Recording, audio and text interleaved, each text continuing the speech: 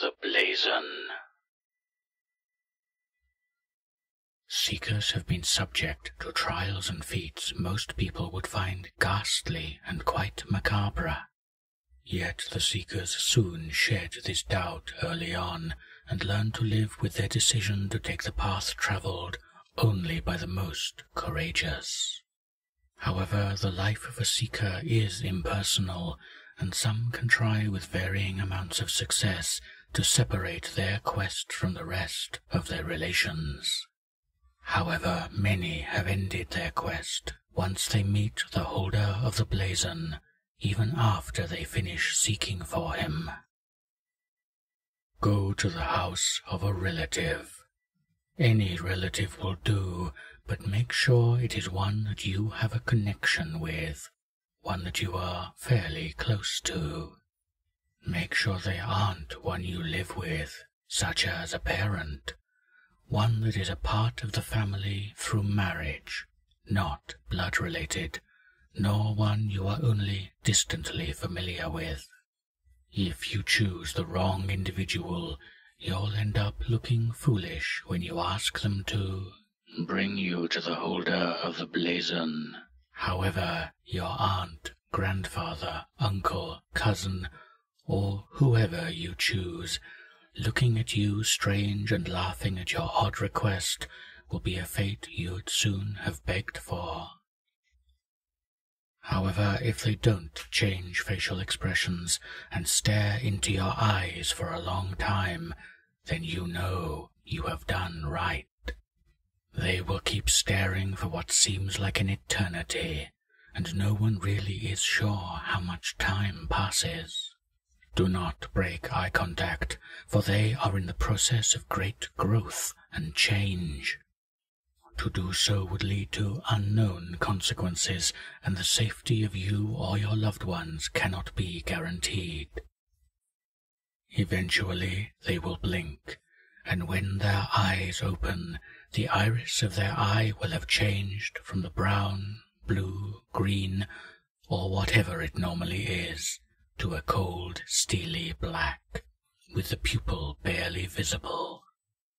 They will speak in a monotone and almost robotic manner, giving you a date and a time. This date may be later that day, week, month, or much farther down. Regardless, you must memorize it.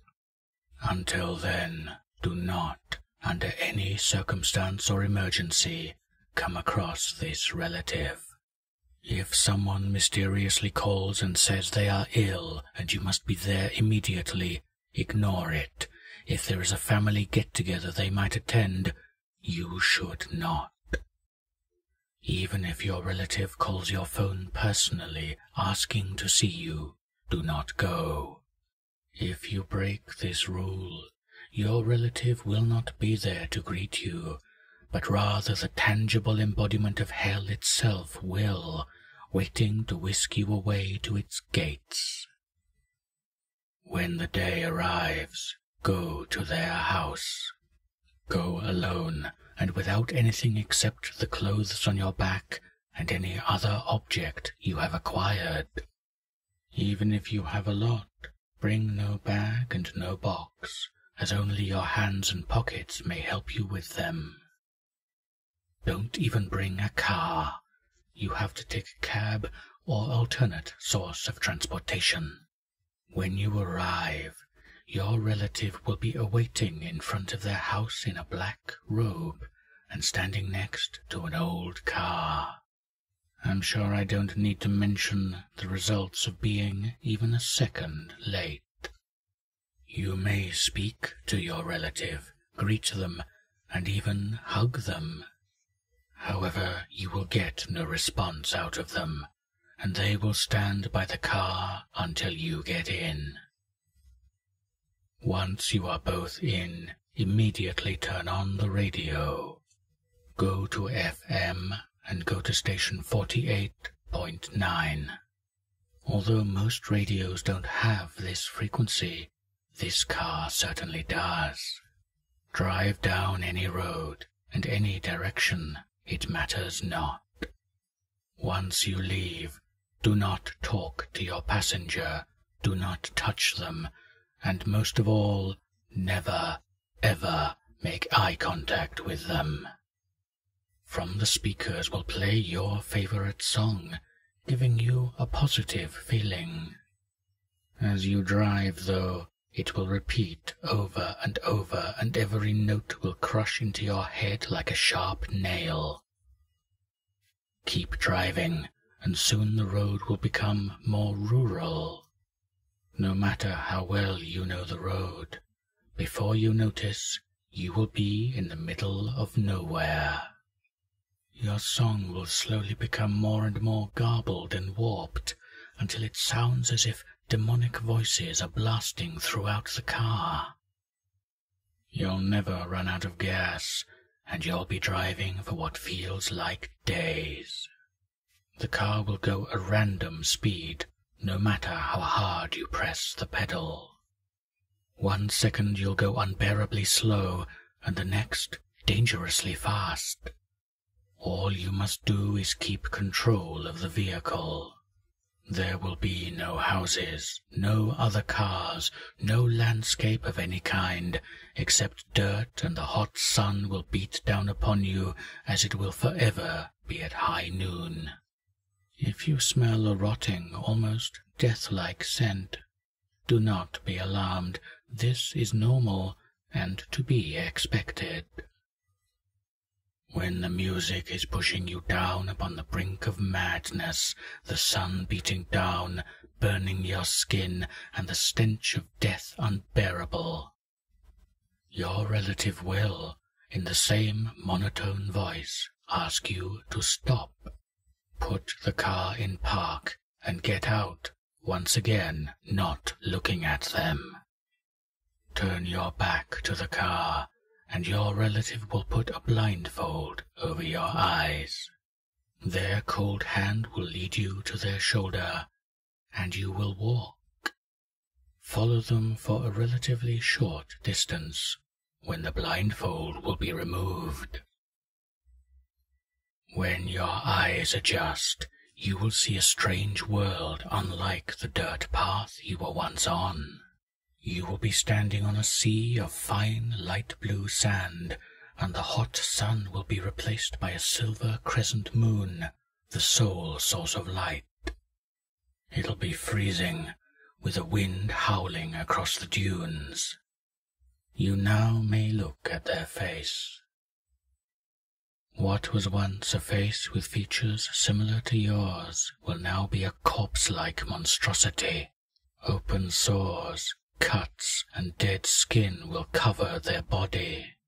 Their eyes will be shrunken, almost forced shut by throbbing, oozing tumors.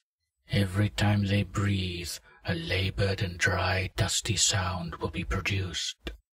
Circling above will be giant black crow-like birds who will land on their shoulders. They will gnaw, peck, and chew away at the rotting body. You will easily see their pain and suffering, and for the first time since the beginning of the journey for the holder, you'll see the warm eyes of your relative instead of a stranger. Check your pocket, and you will see a knife, no bigger than one you find at the dinner table, will have appeared. Take them out of their misery. Do it fast as every second for them feels like a million lifetimes in hell. Slice them across the throat. No blood will drip, and they will fall limp to the ground. You too will collapse and fall into a deep sleep. When you awaken, you will be dressed in a fine suit in a funeral home. As you approach the casket, you will see your relative resting peacefully. A gentle yet awkward smile will be on their face, with a faint, almost invisible light pink scar across the neck. People will take no notice of you, ignoring you as if you aren't there. You may pay your respects, as your relative has been returned to you. Finally, near the end of the funeral, a man will approach you and ask you to come with him. Follow him to an old dusty office. He will tell you the story of your relative's life. He'll surprise you by saying you were their favorite and they left you something special. He'll hand you what appears to be a shield with a coat of arms on the front, a silver moon above a desert of blue sand. He'll lead you to the door. Before you leave, he'll turn around and wink, and when his eye opens, it will be all black with almost no pupil. Turn around again, and there will be no one there. Your family members are no longer a part of you, and no longer are you part of them. You might as well be a stranger. Even if you live with your parents, they'll take no notice of you, and they won't question this strange person living amongst them. Your last name is now Holder, as it has become more than your purpose. It has become your identity. The coat of arms is object 489 of 538. Inscribed on the back, Never forget where you came from, even if it forgets you.